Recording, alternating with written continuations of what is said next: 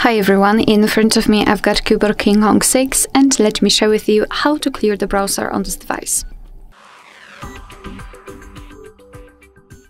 So let's start with opening the browser. In my case, it will be Google Chrome, but no worries. Um, this operation is pretty similar in all other browsers which are commonly used, so I'm pretty sure that you will be able to recreate my steps and apply them to your browser.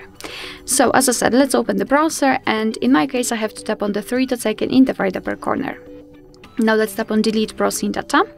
And here we've got outside basic options connected with the browsing, browsing data because we've got the history and the tabs, cookies, cache and other site data.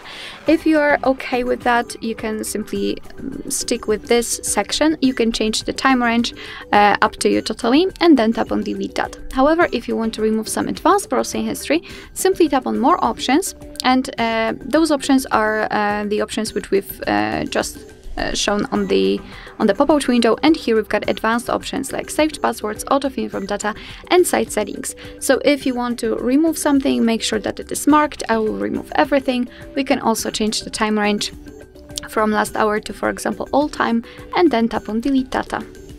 Now we can enter the three dots icon again and tap on the history and as you can see the history is empty which means that we just successfully removed actually everything.